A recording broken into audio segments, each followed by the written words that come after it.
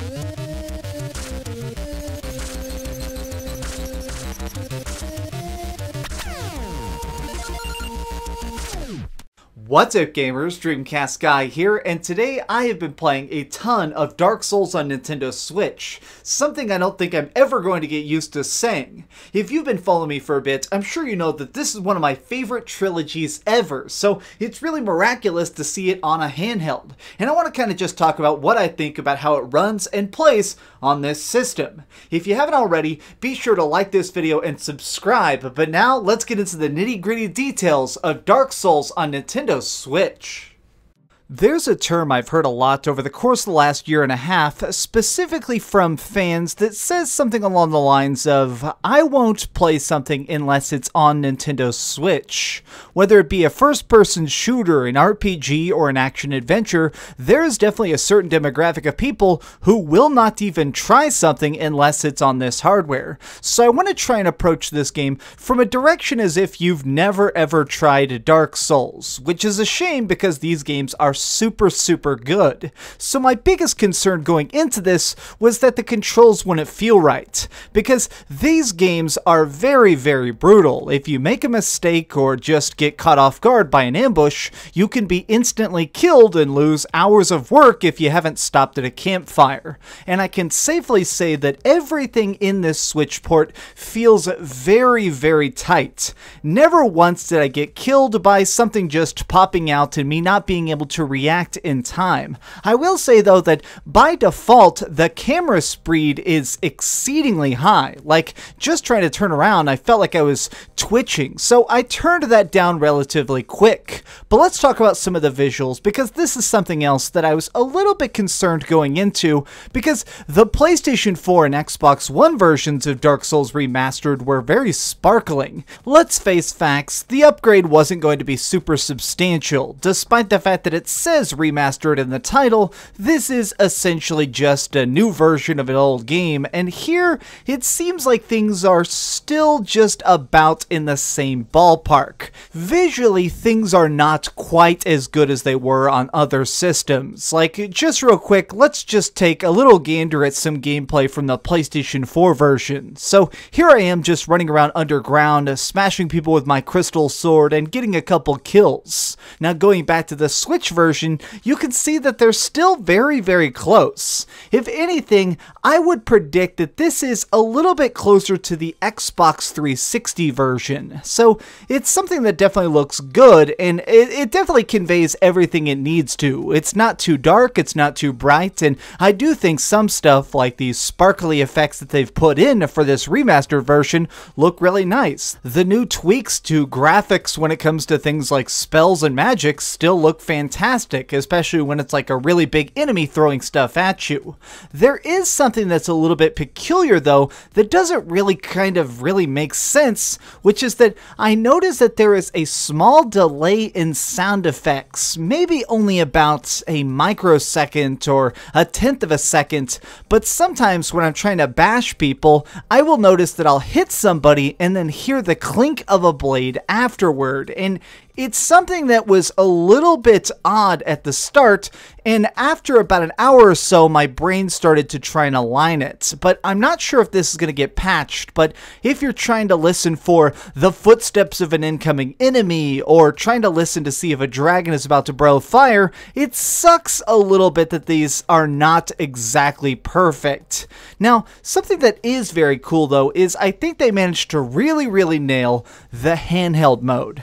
I am so blown away by just how smooth this is. In general, I would say that this is probably the number one reason people are going to buy it on Nintendo Switch is because they want to be able to have this big epic quest anywhere, and here, uh, I can say that it definitely functions well. If anything, and this is going to be a little bit shocking to say, I actually think it runs better in handheld than it does on docked. It seems like what they did is they dramatically lowered the resolution resolution when you're in handheld mode, but it's not super noticeable. I mean, when I was running around and trying to slay stuff, it all looked good enough for being a handheld, but the frame rate was very, very solid. It made it much smoother looking just to be able to run around with this in my hands. But talking on the subject of frame rate, this is probably the thing that baffles me the most because it's a little bit inconsistent. So other consoles of course have it at 60 frames a second,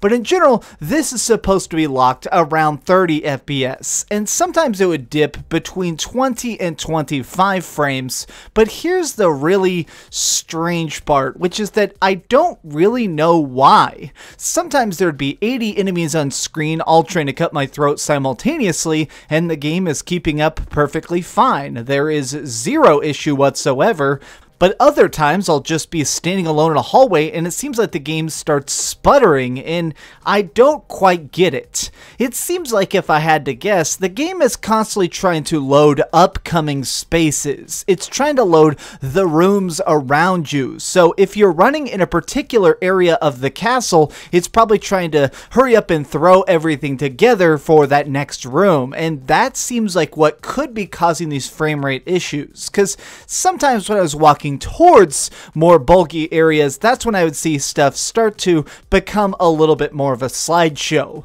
Overall, though, when it comes to just graphics and the general way this engine functions, I can say that it's quite remarkable, and I'm very happy with it.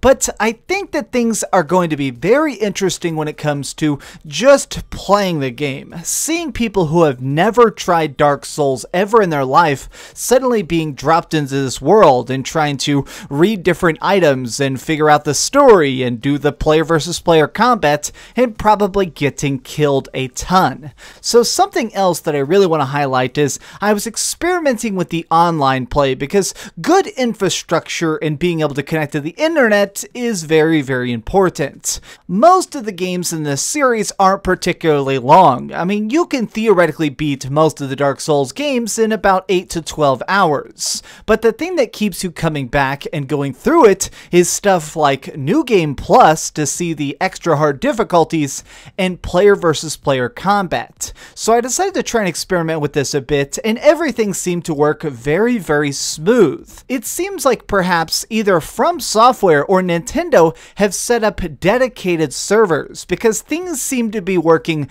very, very tight. I like this a lot, and I ended up running through an entire set of this uh, little demo type set with a co-op partner just just a random person online, and we were able to just kick so much butt. There was not a single time where anybody was skipping around, or it seemed like either of us was having some sort of error that did not allow us to connect seamlessly with the system. So I guess I can really say that despite some concerns that this wouldn't run great, or the fact that they had to delay it so much, it seems like they really managed to iron out all the stuff.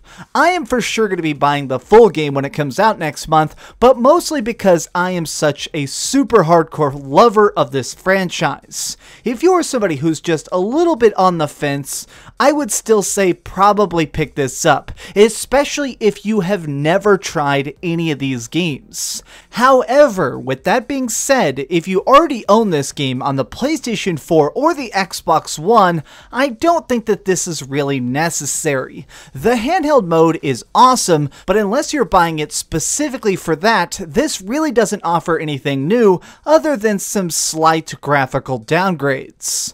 But still, it's something that's very, very cool that it even exists. Okay, so uh, yeah, I can't believe it's real, and here it is, and uh, I'm gonna go back into this beta test and try and kill a few more people. Full honesty here, I'm most likely not going to be reviewing the full game when it comes out later on, simply because October is already incredibly crammed with different big games that I really, really want to try out. But thank you for watching this video, and let's hope that the final game is something that's completely worth every dollar we spend on it. So there we have it. It's still so cool that this even exists, and I will say that from this test, I now realize that it's a pretty good port. I'm definitely going to be picking it up, but mostly because I'm such a die-hard freaking Dark Souls fanboy. So thanks for watching, and uh, you guys rock. Now do me the biggest favor of all and keep dreaming. Alright, bye. By the way, I actually secretly had to record this while sitting on my knees, and oh, it hurts. I'm an old man, I can't do this. Oh, hey, I was just playing a little bit of Grand Theft Auto on my Darth Vader PSP. Are you curious what I'm going to come out with next? Well, if you click this button, you'll be subscribed to be the first to know. Also, if you click over here and here, you can see my latest review and my latest top 10. I promise, it was super good. Or it was really bad and I'm sure you can just make fun of me in the comments. Either way, it'll be a lot of fun. Thanks so much for watching.